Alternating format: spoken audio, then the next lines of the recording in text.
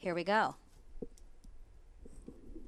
10, Nine, eight, seven, six, five, four, three, two, one. Engine ignition and liftoff. Liftoff of SWOT, our first global survey of Earth's surface water to study how this ever changing resource affects our climate.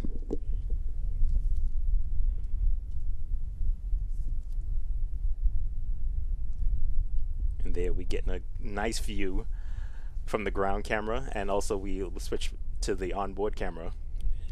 Now, Denton, you didn't go outside to see the launch, but now we're feeling it inside here in the Mission Director Center, the rumble all around us from launch. Absolutely.